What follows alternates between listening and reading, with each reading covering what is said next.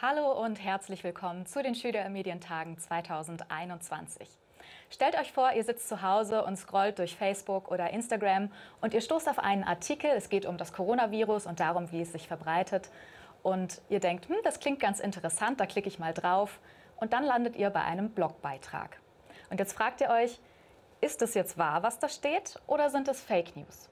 Wie ihr das herausfinden könnt, darum geht es hier in der kommenden Stunde bei unserem Talk Falschinformationen erkennen und entlarven. Die Schülermedientage finden zum dritten Mal statt. Sie sind organisiert von der Bayerischen Landeszentrale für politische Bildungsarbeit in Kooperation mit der Media School hier in München, wo wir auch gerade sind, in Kooperation mit dem Bayerischen Rundfunk und mit ganz vielen Medienhäusern aus Bayern. Ich freue mich sehr, dass ihr alle dabei seid und zugeschaltet habt, weil für euch machen wir das Ganze. Und wir laden euch auch ein, nicht nur einfach zuzuhören, sondern auch eure Fragen zu stellen. Das könnt ihr machen über das Tool Slido. Wenn ihr da noch nicht eingeloggt seid, fragt gerne nochmal eure Lehrkräfte, wie das funktioniert. Wenn ihr dann eine Frage über Slido stellt, dann kommt die direkt hier zu mir auf das Tablet Vorher aber landet sie noch einmal bei unserem Team, die sortieren ein bisschen vor. Es kann ja sein, dass zwei Leute von euch dieselbe Frage stellen wollen. Und wir rechnen auch damit, dass wir extrem viele Fragen für dieses Panel bekommen werden, weil so viele Klassen zugeschaltet haben. Ich werde mein Bestes geben, zu versuchen, alle Fragen zu stellen. Kann sein, dass es nicht ganz funktionieren wird, aber ich denke, die wichtigen werden wir auf jeden Fall dabei haben. Und die werde ich dann an unsere Gäste weiterleiten. Unsere Gäste, das sind Lena Ling und Benjamin Schwärzler von der Allgäuer Zeitung. Lena ist äh, Volontärin in der Allgäuer Zeitung, das heißt, sie macht dort gerade ihre journalistische Ausbildung. Sie ist seit einem Jahr mit im Team, im Digitalteam, um es genau zu nehmen, und ist dort auch für Social Media zuständig. Und Benjamin Schwärzler ist schon seit 17 Jahren bei der Allgäuer Zeitung. Er ist der Digitalbeauftragte. Lena, Benjamin, schön, dass ihr heute da seid. Hallo. Hallo, Hallo Katharina. Schön, dass wir da sein dürfen. Ich freue mich auch. Wir werden heute über zwei Themen sprechen. Einmal darüber, wie ihr Fake News erkennen könnt und, wenn hoffentlich dann Zeit ist, auch darüber, wie ihr vertrauenswürdige Quellen findet. Eine kleine Vorwarnung noch von, für euch, bevor es losgeht. Wir werden euch an einer Stelle ein gefälschtes Foto von einem Prominenten zeigen und wir werden euch dann fragen, wie ihr äh, damit umgehen würdet, wenn ihr so ein Bild seht, wie ihr prüfen würdet, ob das denn wahr sein kann oder ob es eine Fälschung ist. Und das könnt ihr direkt über Slido dann hier tun. Bevor wir so tief einsteigen, fangen wir aber am Anfang an. Benjamin, was sind denn überhaupt Fake News, also Falschinformationen?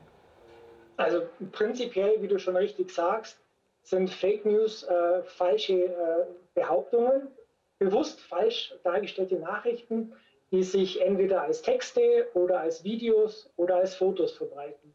Ähm, sind meist unbewiesene Behauptungen und die haben ein ganz klares Ziel, nämlich ähm, die Öffentlichkeit bzw. denjenigen, der sie liest, zu manipulieren und ihm irgendeine falsche Tatsache unterzuschieben. Jetzt haben uns die Klassen teilweise auch schon Fragen vorher gestellt und da fragte die berufliche Oberschule in Scheiern, wie viel Prozent der Infos im Netz sind denn Fake News? Kann man das überhaupt beziffern? das ist eine gute Frage. Ich glaube, das würde viele äh, Journalisten auch interessieren, dass man einfach Fake News ein bisschen greifbarer macht. Man kann es aber so pauschal tatsächlich gar nicht sagen. Das liegt wohl zum einen daran, dass es eine wahnsinnige äh, Bandbreite an News gibt, die täglich äh, online gehen oder täglich gestreut werden, dass man das gar nicht richtig eingrenzen kann, äh, wo da Fake News anfangen und nicht. Und das ist nämlich genau der Punkt, weil die Grenzen da einfach sehr, sehr verschwommen sind. Also es gibt natürlich News, die haben einen Wahrheitsgehalt, da werden aber vielleicht einzelne Fakten dann doch weggelassen. Kann man dann schon von Fake News sprechen oder nicht? Das wird meistens von Einzelfall zu Einzelfall entschieden. Also da sehen wir schon, die Abgrenzung ist relativ schwierig. Ähm, wie kommt es dann aber, dass sich Fake News so schnell verbreiten? Also dazu muss man ähm, vielleicht auch ein bisschen wissen, was im Internet so alles passiert.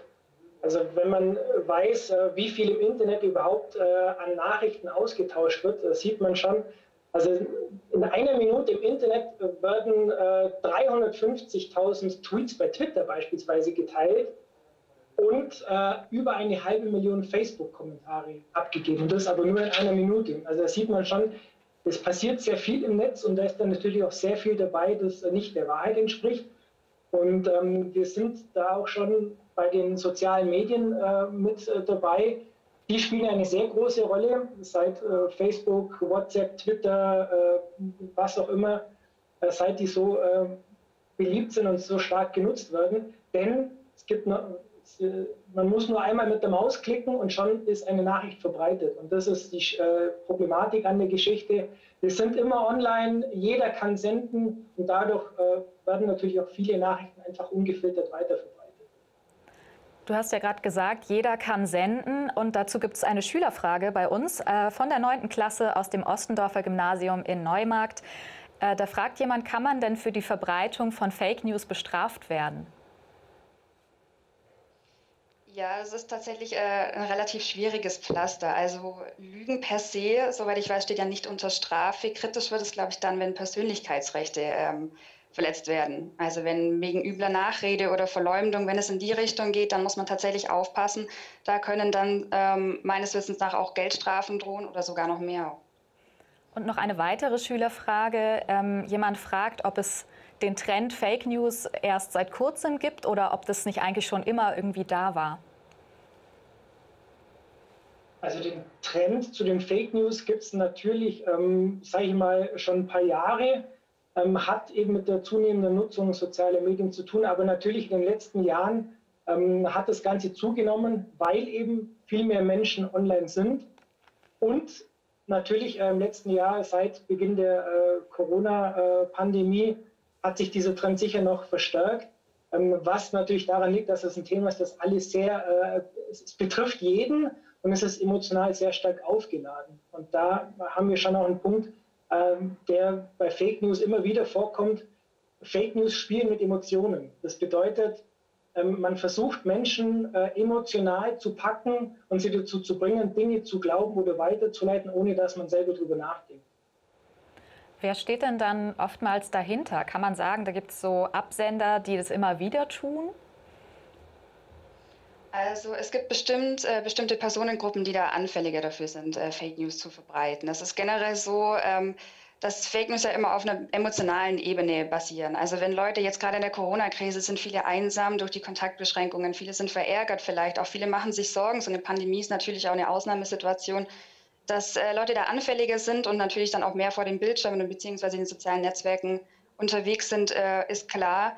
Es gibt Untersuchungen, die sagen, dass vor allem Personengruppen, die zum Beispiel in ihrer politischen Meinung sehr, sehr festgefahren sind, also die da schon eine klare Meinung zu haben und äh, andere Meinungen da wenig offen gegenüberstehen, dass die anfälliger sind, Fake News zu verbreiten, gar nicht mal mit der Intention teilweise wirklich falsche Nachrichten äh, zu streuen, sondern denen geht es oftmals auch einfach nur darum, die jetzt in dem Fall politische Gegenseite zu verärgern. Da sind wir ja jetzt gerade bei den Absendern von Fake News. Ähm, wie ist denn das wer sind denn die Adressaten sozusagen? Also wer glaubt an Fake News und warum sind wir vielleicht anfällig für Fake News? Also Fake News äh, können prinzipiell natürlich jeden treffen. Also ich glaube, jeder von uns hat bestimmt in seinem Social Media Account äh, mal äh, ist mal auf eine Fake News Nachricht gestoßen. Das ist ganz klar.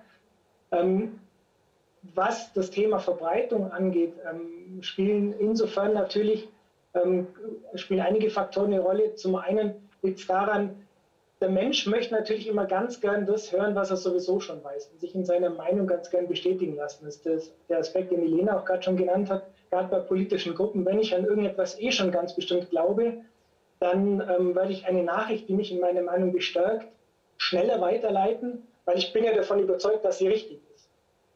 Und ähm, da liegt die Gefahr bei Fake News, dass man die gar nicht mehr äh, wirklich äh, hinterfragt, sondern einfach sie weiterleitet nach dem Motto, ah ja stimmt, weiß ich ja, das passt soweit und darum kann ich das weitergeben. Und ich sehe schon, ihr seid super aktiv hier auf Slido. Das ist richtig gut. Ähm, da kommen gerade auch schon Fragen rein zu vertrauenswürdigen Quellen. Die würde ich noch ein bisschen hinten anstellen, weil das äh, machen wir dann eher in der zweiten Hälfte. Deswegen jetzt noch einmal die Frage an Lena und Benjamin.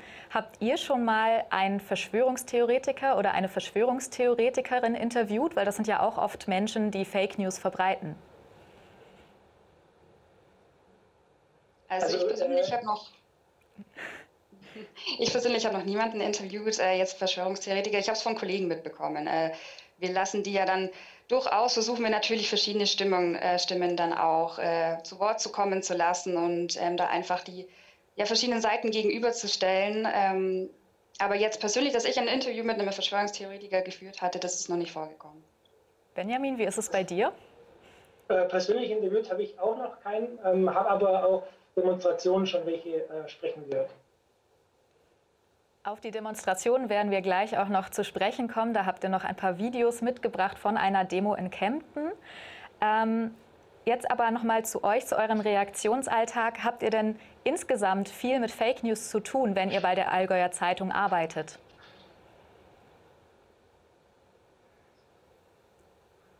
Lena ähm, oder Benjamin? Benjamin, red also, Ja, wir haben natürlich äh, mit Fake News auch zu tun. Das ist ähm, ganz klar. Äh, News werden viel verbreitet. Als Zeitung sind wir da natürlich auch eine Anlaufstelle für viele Personen. Vor allem eben unsere ähm, Artikel bei Facebook werden sehr stark äh, kommentiert mitunter. Dazu muss man wissen, also wir stellen ähm, auf allgäuerzeitung.de zwischen 150 und 200 Artikel pro Tag online. Und die werden teilweise mit bis zu 500 Kommentaren bei Facebook ähm, versehen. Und äh, natürlich ist auch da, äh, sind äh, Kommentare mit dabei, äh, wo die Nutzer versuchen, äh, ja, vielleicht unter dem Deckmäntelchen äh, einer Zeitungs-Facebook-Seite krude Theorien zu verbreiten. Und würdest du sagen, das ist mehr geworden? Also mehr als früher? Du bist ja jetzt schon seit 17 Jahren dabei. Also das definitiv. Ähm, es gab es früher natürlich auch schon, ähm, allerdings weniger im äh, digitalen Bereich. Also wir hatten auch vor, gab auch schon vor, vor 15 Jahren beispielsweise äh, Leserbriefe, in denen die Schreiber irgendwelche abstrusen Dinge behauptet haben. Oder im realen Leben gab es natürlich auch schon den Versuch, Fake News unterzubringen. Ähm, ob das jetzt irgendwelche Wortmeldungen bei Diskussionen waren oder Redebeiträge bei politischen Veranstaltungen. Also das gab es im Prinzip immer schon. Der Unterschied ist nur, früher ähm, musste ich mich mit meinem, musste ich mit meinem Gesicht, mit meinem Namen hinter meiner Aussage stehen. Heutzutage kann ich mich im äh, Internet hinter einer falschen Identität verstecken, mir ein Fake-Profil anlegen und kann da ähm, ja, meine Meinung äh, in die Welt hinaustragen, ohne dass jemand weiß, wer überhaupt dahinter steckt. Und das ist die Gefährlichkeit. Ihr habt ja uns auch eine Präsentation mitgebracht. Bevor wir gleich zu der kommen, da werden wir auch mehr über Beispiele von Fake News erfahren, ähm, wollte ich euch noch mal fragen, wie ist es denn mit Fake News in Videos und in Online-Artikeln? Es gab ja neulich mal dieses Beispiel, dass die Nachricht rumging, in Corona-Schnelltests würden irgendwelche Parasiten sein, hat sich dann einfach als Stofffasern herausgestellt.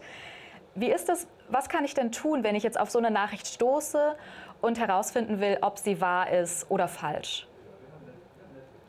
Also das Wichtigste ist erstmal überhaupt gar nicht äh, direkt teilen oder das Liken und dem Ganzen dann noch mehr Aufmerksamkeit verschaffen. Ich glaube, in den meisten Fällen sollte man erstmal kurz durchatmen, sich das in Ruhe durchlesen und dann ist einfach ganz banal mal bei Google eingeben. Die Schlagwörter, die in dieser angeblichen Meldung oder in diesem in dieser Behauptung vorkommen, einfach mal bei Google eintippen und schauen, was denn andere Medien darüber berichten. Gibt es da irgendwelche Berichte schon? Gibt es da vielleicht sogar schon Faktenchecks?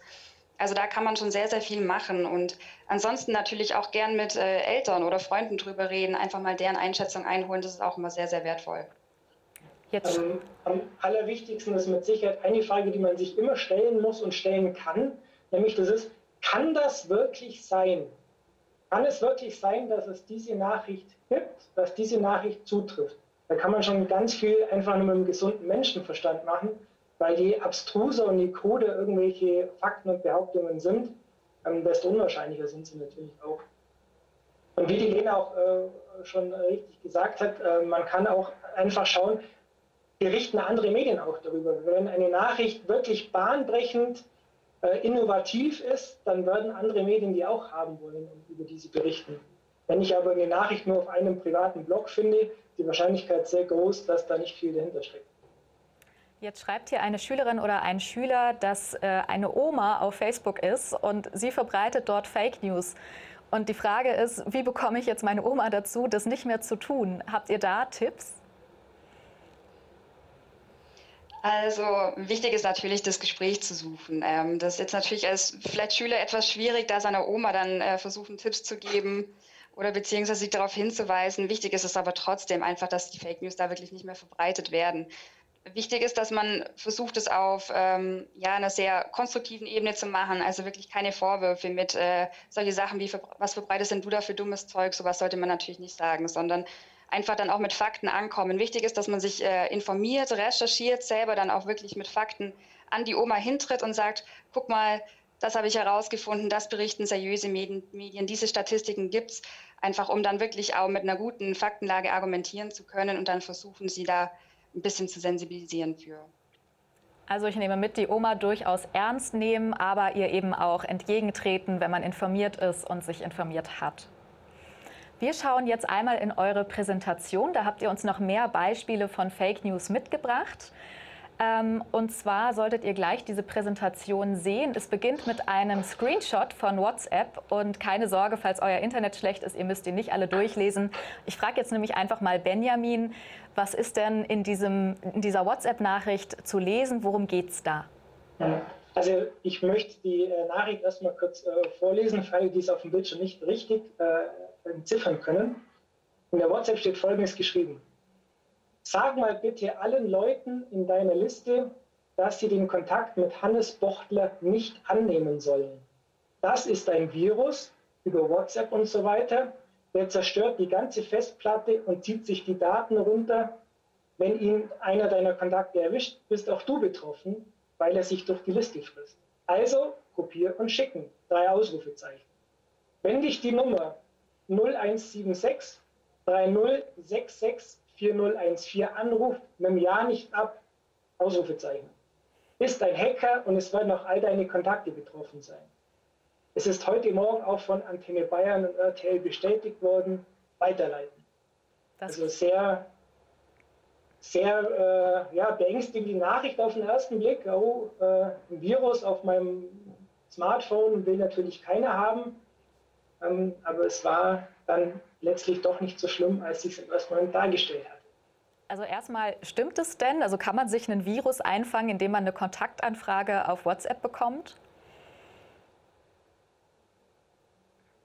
Also Viren verbreiten sich ähm, in der Regel äh, vor allem durch Links, auf die man dann klicken soll. Also Kontaktanfrage. Ich bin jetzt kein Technikexperte, aber mir wäre es noch nie untergekommen, dass man eine, über eine Kontaktanfrage sich ein Virus einfangen kann.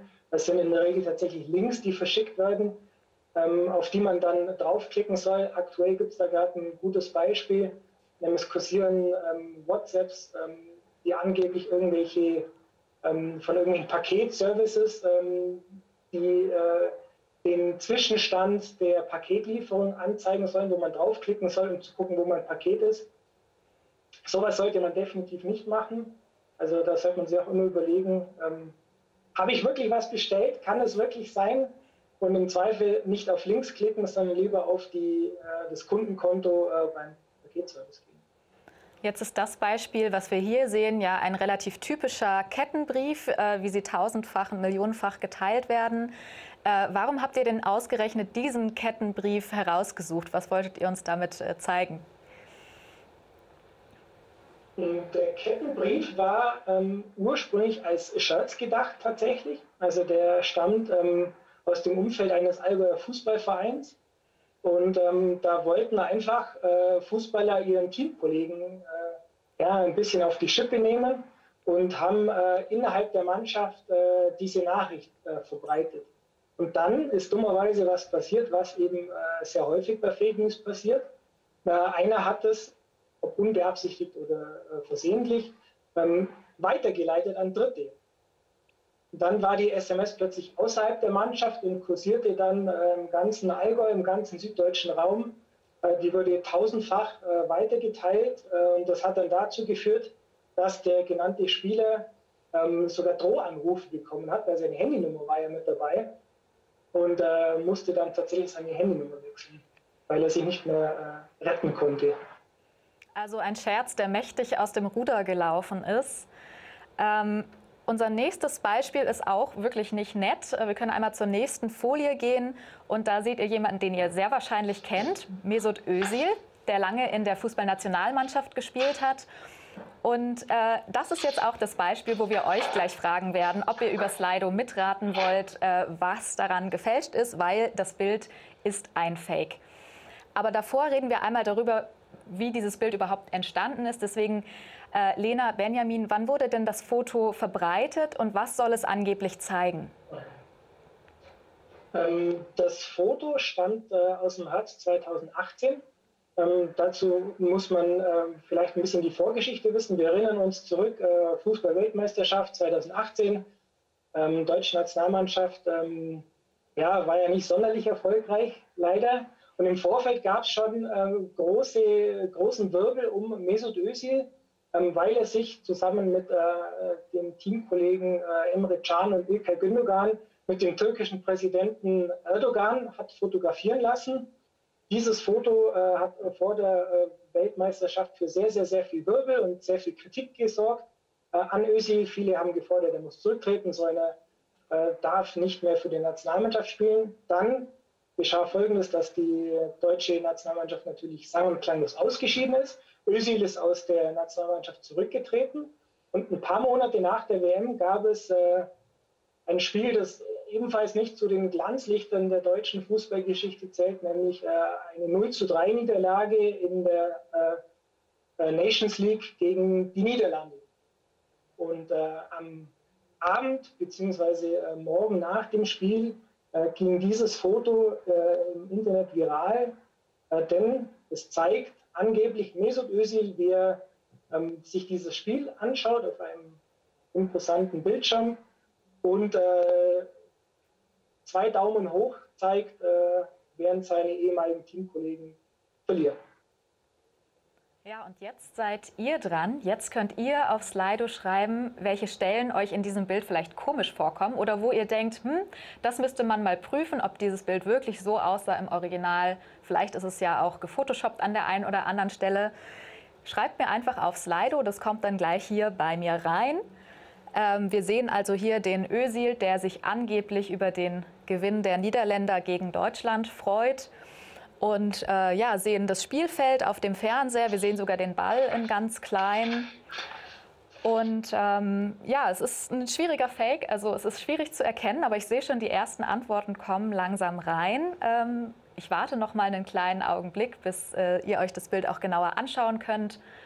Ähm, und gucke noch mal ein bisschen. Also wir sehen, der Özil, der trägt ein Adidas-T-Shirt. Er hat die beiden Daumen in die Höhe gereckt. Äh, er steht vor diesem großen Bildschirm. Oben links in der Ecke ist diese Anzeige Niederlande gegen Deutschland. 3 zu 0 für die Niederlande. Wir sind offenbar in der Nachspielzeit oder das Spiel ist sogar schon abgepfiffen. Das weiß man nicht ganz. Es gibt die zwei Mannschaften und den Ball. Und äh, ja, ich würde sagen, wir gehen jetzt einfach mal zur Auflösung. Wir haben so ein paar äh, Ideen äh, bekommen über Slido. Vielen Dank euch dafür. Ähm, und zwar sieht das Bild im Original so aus. Also ungefähr dasselbe, aber bessere Auflösung. Und oben links steht eben nicht Deutschland gegen Niederlande, sondern Sky Sport 2 Live. Eure äh, Ideen waren, dass es vielleicht ein Deepfake ist äh, dass man vielleicht bei seinen Augen gucken kann und dass das Ergebnis falsch ist oder beziehungsweise dass Özil sich vielleicht nicht darüber gefreut hat und das ist natürlich die äh, richtige Antwort. Özil hat sich anscheinend nicht über dieses Ergebnis gefreut, beziehungsweise wir wissen es nicht. Auf jeden Fall ist das nicht das, was das Bild gezeigt hat. Außerdem habt ihr noch geraten, die Toranzahl könnte falsch sein. Ähm, der Hintergrund und Özil sind beide im Fokus und er könnte rein editiert worden sein. Also da sind schon Profis am Werk bei euch, die sich ein bisschen damit auseinandergesetzt haben. Ist hier nicht der Fall, aber hätte natürlich auch gut sein können. Genau, Benjamin, ähm, vielleicht willst du noch einmal sagen, ähm, ja, wie das jetzt, äh, also wie sozusagen für dich die Auflösung ist und äh, wie sie das jetzt gemacht haben. Ja. Also zunächst mal äh, waren da wirklich ein paar ganz gute Hinweise von den Schülern mit dabei. Ähm, sehr, sehr gut äh, teilweise. Ähm, genau hinschauen, man erkennt tatsächlich, wenn man genau hinguckt, so den einen oder anderen Hinweis. Also zum einen äh, ist tatsächlich die Spielstandanzeige auf dem äh, Fake-Foto reinmontiert worden.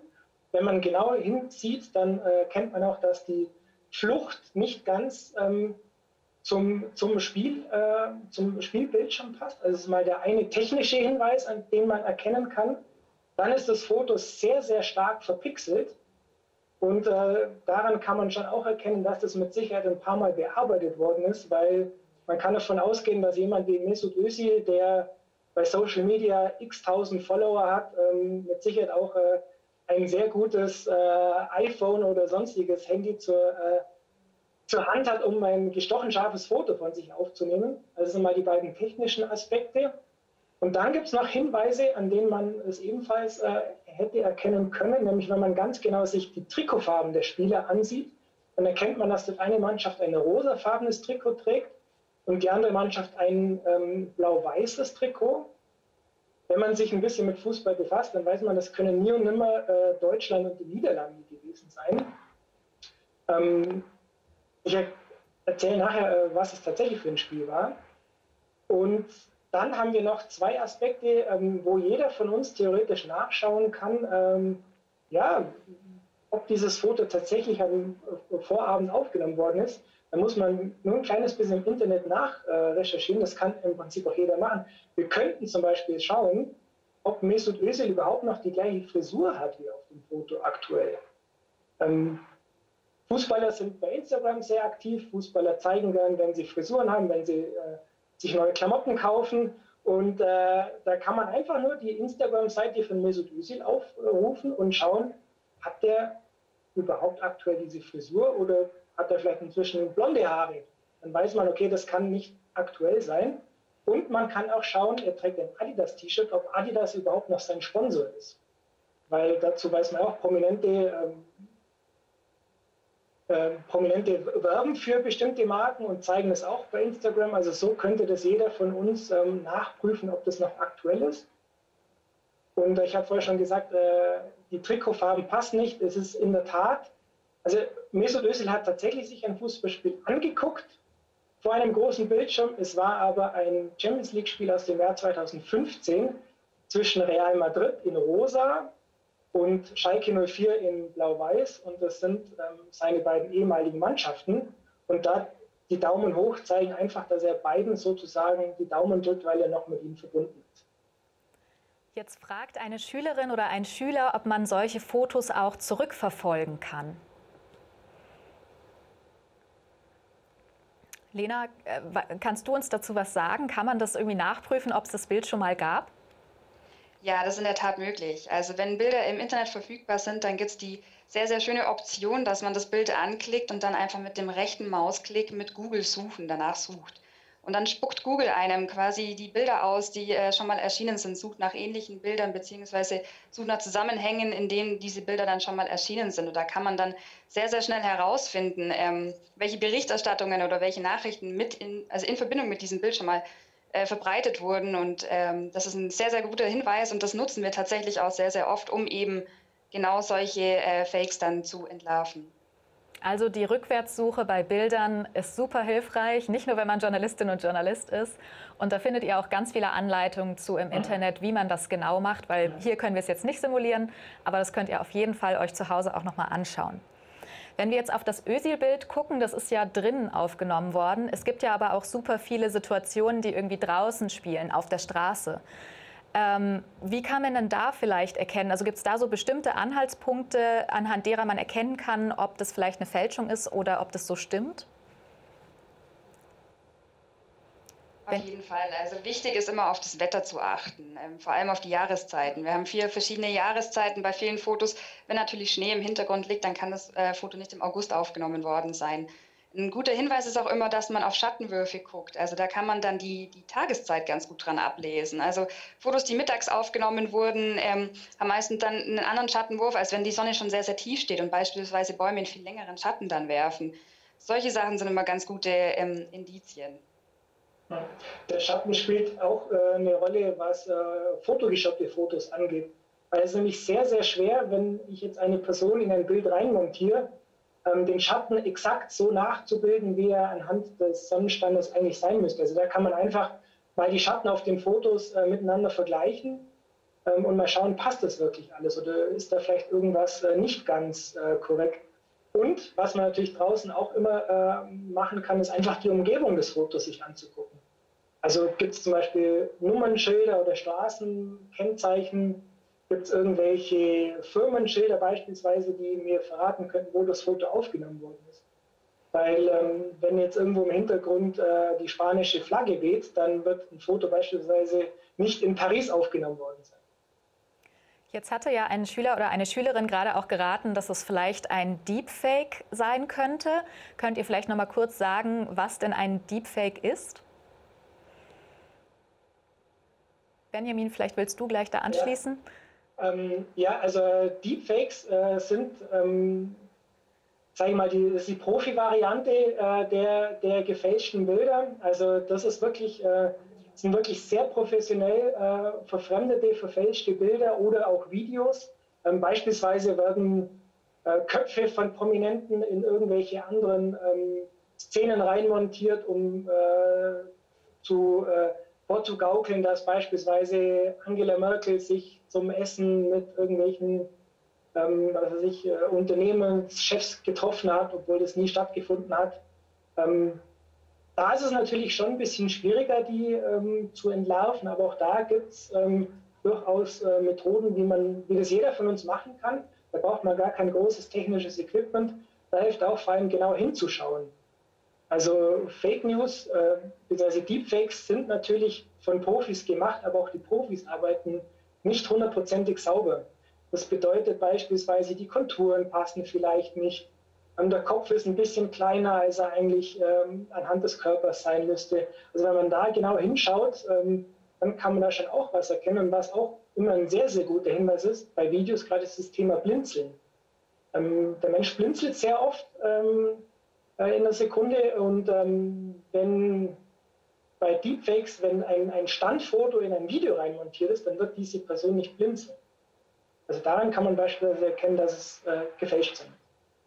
Also jetzt wissen wir auch, woher die ganzen tanzenden und singenden Obamas und Trumps auf YouTube äh, kommen. Das sind nämlich auch, glaube ich, solche Technologien. Ihr habt uns jetzt noch äh, vier Folien mitgebracht mit Tipps, wie man denn Fake-Accounts in den sozialen Netzwerken erkennen kann. Und ich würde sagen, ihr könnt da einfach mal selbstständig äh, durchgehen und dann sind wir auch am Ende mit der Präsentation und gehen wieder mehr in das Talk-Format über. Genau, also es gibt ähm, natürlich äh, einige Möglichkeiten, wie man schauen kann, ob dein Account tatsächlich ein äh, wahrer Account ist oder ob da eine Fake-Person dahinter steckt. Und das ist beispielsweise ganz klassisch ähm, der, bei Facebook äh, der blaue Haken. Also den sehen wir hier äh, auf dem linken Account äh, von Spiegel.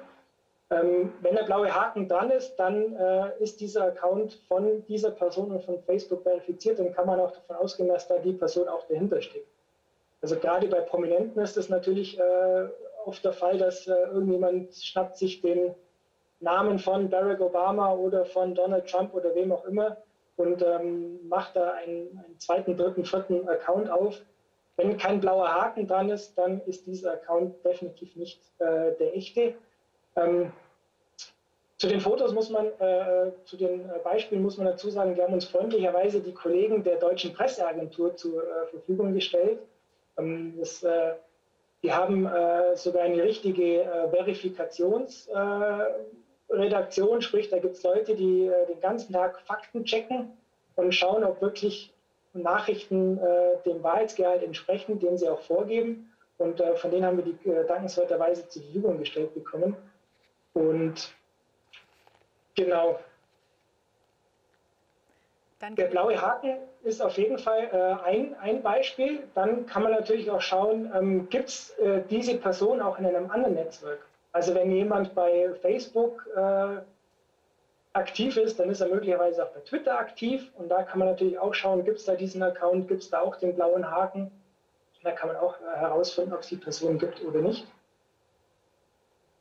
Und ähm, dann gibt es noch ein paar Beispiele, wo wir wieder beim Thema gesunder Menschenverstand sind. Einfach mal genau hinschauen. Wir sehen jetzt hier äh, zwei Beispiele äh, eines angeblichen Accounts von Angela Merkel.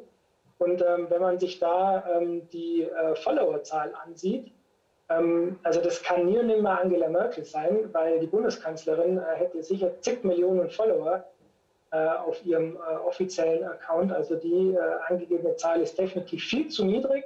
Und auf jeden Fall ähm, wäre sie äh, nicht äh, erst seit äh, 2010 bei, äh, bei den sozialen Medien, sondern definitiv früher, weil Angela Merkel ist ja schon doch eine Weile Kanzlerin, seit 16 Jahren. Und äh, die wäre damit sicher schon viel länger mit dabei.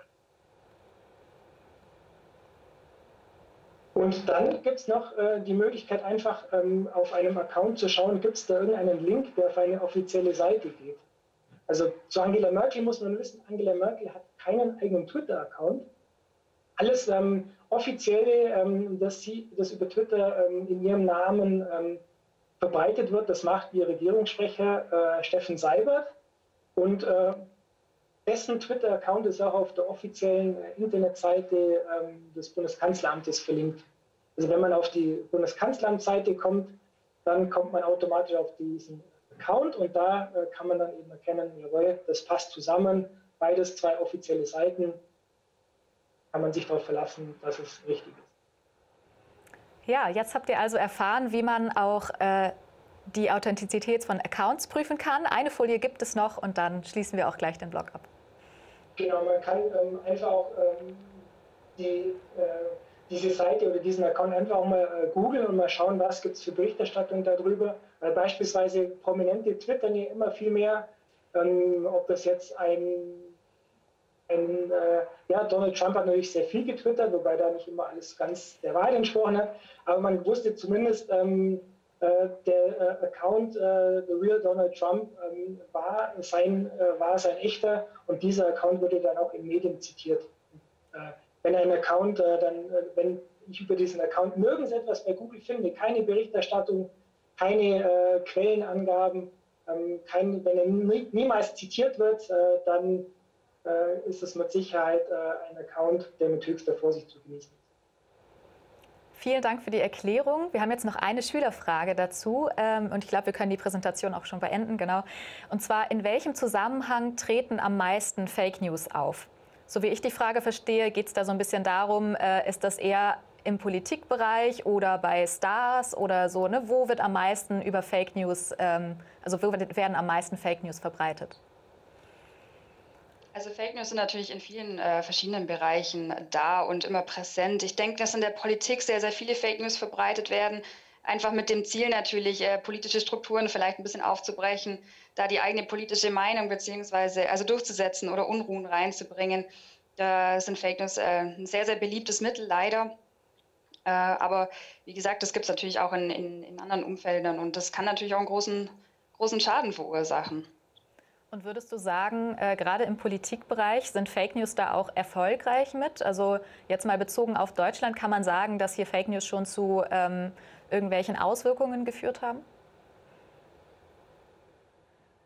Bestimmt. Also mir fällt jetzt konkret äh, jetzt erstmal kein Beispiel ein, aber Fake News haben durchaus eine, eine sehr, sehr, wie soll ich sagen, so hohe Durchschlagskraft, gerade durch diese, durch Social Media. Die werden halt wahnsinnig schnell geteilt, die verbreiten sich unfassbar schnell ähm, wenn geliked wird und geshared wird. Und dann geht das äh, quasi durch die Decke. Es erreicht so viele Personen, es beeinflusst so viele Personen. Also das darf man wirklich nicht unterschätzen, äh, was für eine Macht Fake News auch wirklich haben. Man muss vielleicht dazu sagen, ähm, Fake News kann man im Prinzip in drei grobe Bereiche einteilen. Ähm, es gibt Fake News, die einfach nur, ähm, ja, einfach nur als Shirts verbreitet werden wollen, wie eben unser äh, WhatsApp-Beispiel, das wir vorher hatten, der Shirts, der definitiv nach hinten losgegangen ist. Dann gibt es Fake News, äh, weil Menschen Geld verdienen wollen. Also der wirtschaftliche Aspekt spielt auf jeden Fall eine Rolle und eben vor allem, und das ist mit Sicherheit der Hauptaspekt, ähm, eben wie von denen auch angesprochene äh, Politik, also äh, politische Meinungsmache.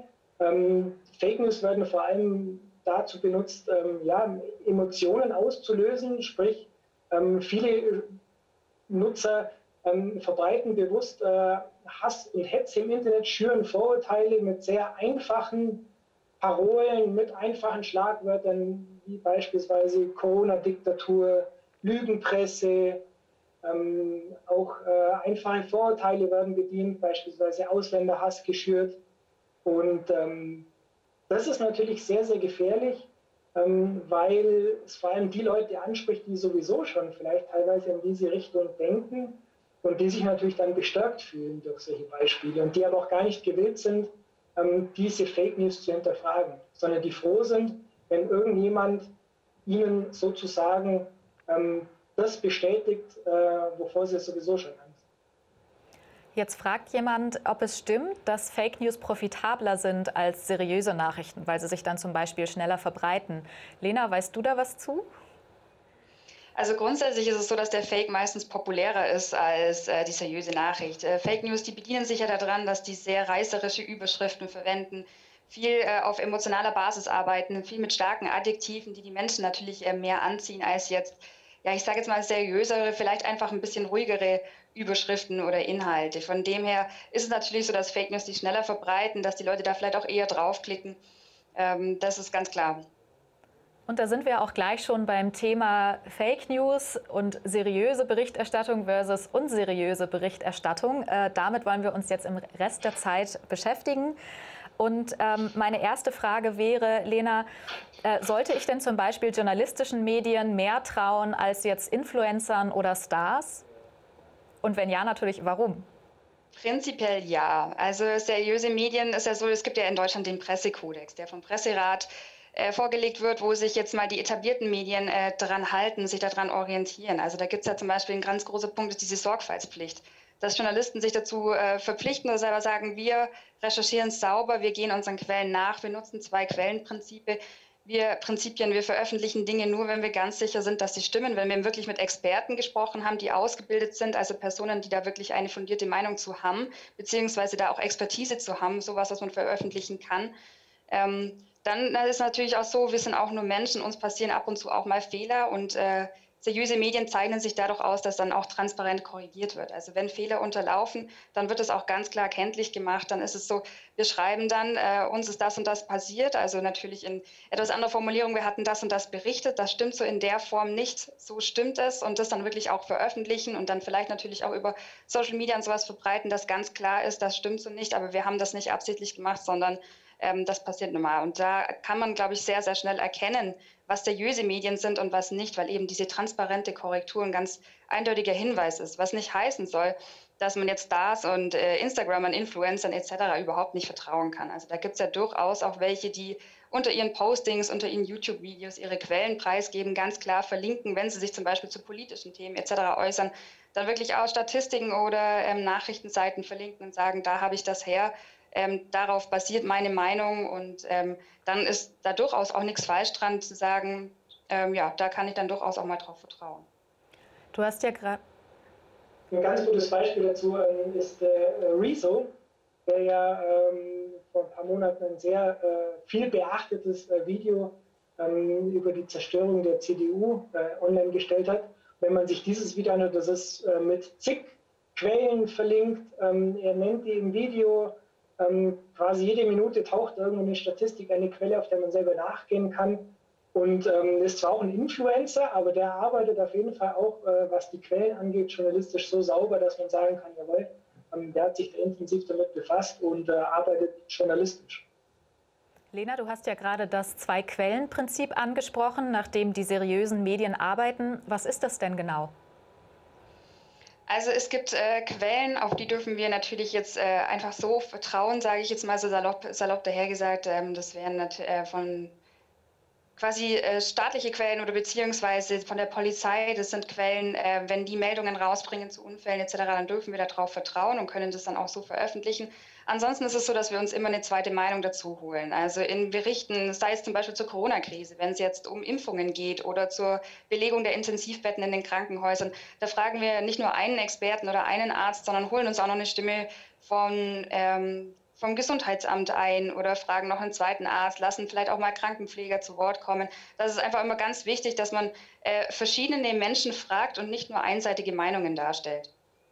Benjamin, jetzt hast du ja gerade Rezo angesprochen als positives Beispiel von jemandem, der seine Quellen auch offenlegt. Und eine Schülerin oder ein Schüler hat die Frage an dich, äh, ob du dich von Rezos Pressevideo angegriffen gefühlt hast oder zumindest angesprochen.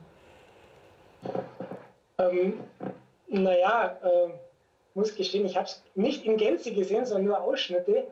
Ähm, also angegriffen ähm, fühle ich mich äh, dadurch auf jeden Fall nicht, weil ähm, ist natürlich äh, freie Meinungsäußerung äh, gehört zu einem öffentlichen Diskurs äh, ganz klar dazu. Auch wir Journalisten äh, müssen aushalten, dass man uns und unsere Berichterstattung kritisiert.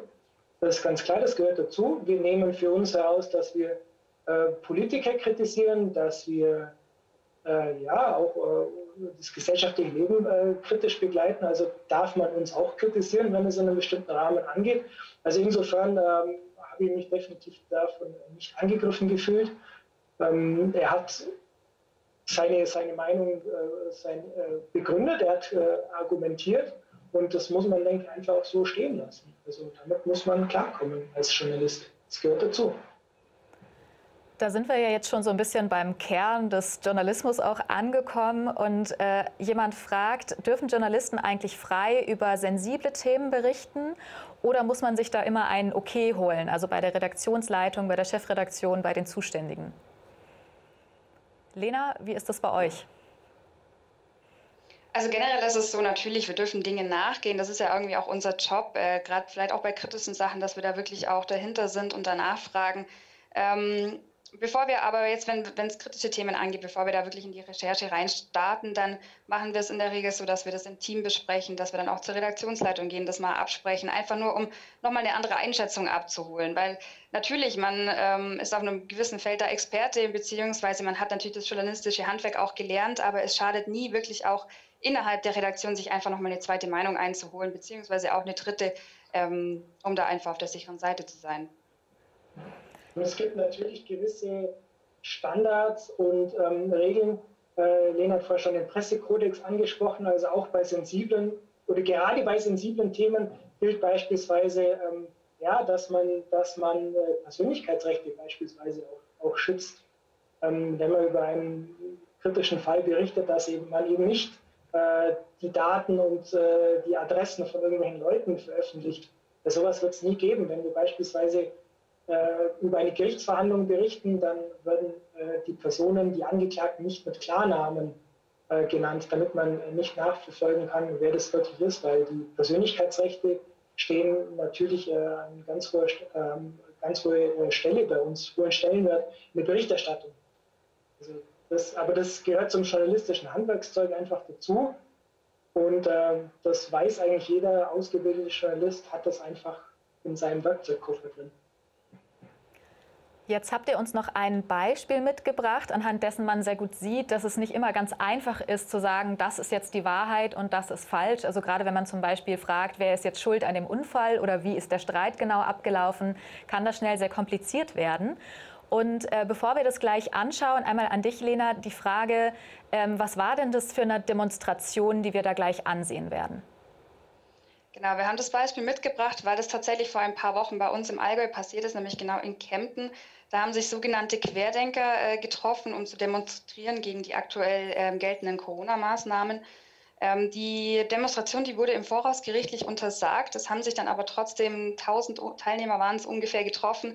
Es gab auch an die 300 Bußgeldverfahren, weil ähm, die Maskenpflicht nicht eingehalten wurde. Und da wurden natürlich auch mehrere Videos aufgenommen, nicht nur von Journalisten, da waren viele Journalisten auch vor Ort, sondern natürlich auch von Passanten oder Demo-Teilnehmern.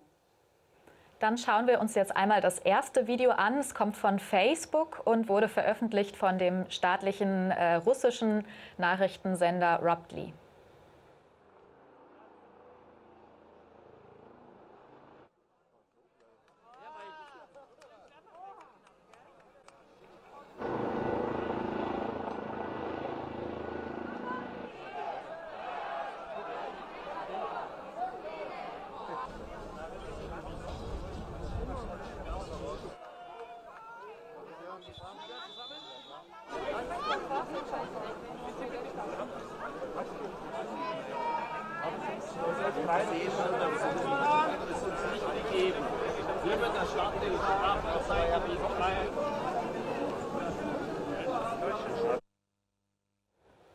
Dann haben wir noch ein zweites Video von Allgäu TV. Das ist ein lokaler Fernsehsender und auch die haben über dieselbe Demonstration berichtet.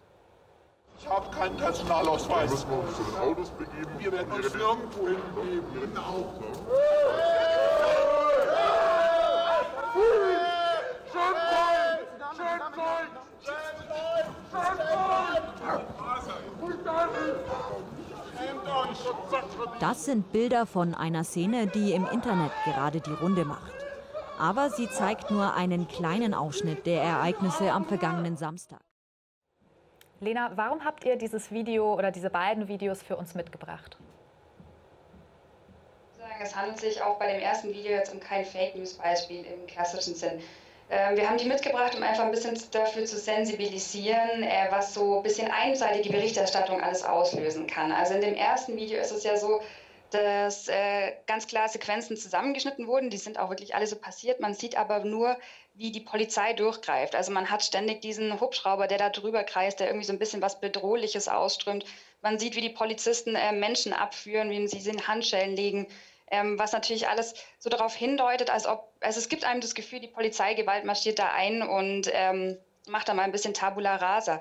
Was in dem Sinne äh, natürlich ein bisschen problematisch ist, weil was man in dem Video nicht sieht, sind diese äh, großen Menschengruppen. Also da wirklich diese Teilnehmer an der Demonstration, die da rumliefen. Man sieht auch nicht äh, Menschengruppen, die zusammenstehen, ohne Abstand, ohne Maske. Solche Bilder werden da nicht gezeigt. Das andere Video, ähm, da handelt es sich um eine Szene, die am Rande der Demo passiert ist, wo diese Frau ähm, von den Polizisten dann am Weitergehen gehindert wurde. Die war äh, ohne Maske unterwegs und wurde angesprochen und sollte ihre Personalien zeigen. Was dann genau passiert ist, da ist natürlich ein bisschen äh, großes Wirrwarr. Da hat sich die Polizei dann auch zugeäußert und ähm, was aber das eigentlich äh, Schwierige an dem ganzen Fall war, man sieht ja auf der gegenüberliegenden Straßenseite, dass Menschen da Videos aufnehmen. Und äh, Teile von diesen Videos, die sind natürlich auch im Netz gelandet, die sind auf Social Media viral gegangen, die sind in ganz Deutschland rumgeschickt worden. Und ähm, das Problematische ist, dass es einfach aus dem Zusammenhang gerissen wurde. Also es wurden dann ein paar Sekunden aus dem Video rausgeschnitten, da wurden dann Texte zugestellt, wie diese arme alte Frau wurde abgeführt, weil sie keine Maske trug, ohne den ganzen Gesamtzusammenhang darzustellen. Und genau solche Sachen sind eben gefährlich. Das heißt, am Ende wissen wir einfach nicht, was genau da passiert ist. Die Frau sagt das eine, die Polizei sagt das andere und es wird vielleicht nicht genau aufgeklärt werden. Ähm, und zumindest hat Allgäu TV dann gesagt, dass es nicht das, das Gesamtbild zeigt, dieser Ausschnitt, richtig? Genau, für uns war das dann wichtig im Nachgang. Also wir hatten auch einen Kollegen, der dann sehr viel Zeit und Energie drauf äh, investiert hat, diese Frau ausfindig zu machen, um auch die zu Wort kommen zu lassen, sondern nicht nur die Polizeiseite, mit der haben wir natürlich auch gesprochen, auch mit der Polizeigewerkschaft, sondern auch äh, die Frau zu Wort kommen zu lassen, wie das aus ihrer Sicht der Dinge, was da genau abgelaufen ist und passiert ist. Und das ist eben das Wichtige, dass man wirklich immer äh, mehrere Seiten beleuchtet. Und was da auf Social Media dann leider passiert ist, dass, wie gesagt, einfach nur einzelne Videosequenzen, teilweise auch zusammengeschnitten, teilweise auch in andere Videos von anderen Demos in ganz anderen Teilen von Deutschland mit reingeschnitten wurden, ähm, wo damit einfach gar nichts zu tun hatten. Das heißt, äh, als seriöses Medium sollte ich zumindest irgendwie darstellen, dass es mehrere Seiten gibt, die mehrere ähm, Ansichten vertreten und das einfach transparent machen.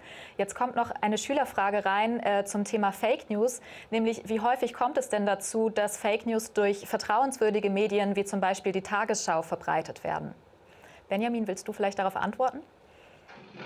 Mm, also da gibt es natürlich jetzt keine ähm, statistischen äh, Erhebungen, aber es ist mit Sicherheit äh, vielen seriösen Medien auch schon mal passiert, dass sie versehentlich eine äh, Meldung verbreitet haben, ähm, die jetzt nicht, äh, wo jetzt vielleicht irgendwie eine, eine, falsche Zahl mit dabei war oder die jetzt nicht so ganz hundertprozentig nachrecherchiert worden ist. Das passiert im Redaktionsalltag mit Sicherheit auch einmal. Bei der Tagesschau würde ich mal sagen, ist die Wahrscheinlichkeit sehr gering, äh, weil die Tagesschau wirklich einen sehr großen Redaktionsstamm hat ähm, und auch Kollegen, die sich da wirklich intensiv mit dem Thema Faktencheck äh, beschäftigen. Ähm, aber es passiert mit Sicherheit auch mal äh, einem Fernsehsender oder eben auch einer Tageszeitung, dass mal versehentlich eine, eine falsche Nachricht äh, verbreitet wird, aber das sind dann eigentlich keine klassischen Fake News, weil Fake News sind ja bewusst falsch dargestellte Nachrichten, das sind dann eher vielleicht ähm, Meldungen, die jetzt ein bisschen unsauber recherchiert worden sind oder wo sich vielleicht auch im Nachhinein ähm, herausstellt, dass beispielsweise äh, sich eine andere Faktenlage ergeben hat. Das hat man beispielsweise ähm, bei diesen Live-Berichterstattungen, ähm, die es äh, gab, als zum Beispiel der, der Amoklauf in München war. Ähm, wenn da Fernsehsender live berichten, dann sind die natürlich vor Ort und ähm, versuchen natürlich äh, die Zuschauer möglichst aktuell auf dem, äh, neu, auf den neuesten Stand zu bringen. Da kann es natürlich sein, dass sich äh, die Datenlage innerhalb von Minuten ändert, dass dann vielleicht äh, Nachrichten äh, zu Beginn, die zu Beginn äh, genannt worden sind, sich in einer Stunde schon wieder erledigt haben. Also das passiert mit Sicherheit immer mal wieder.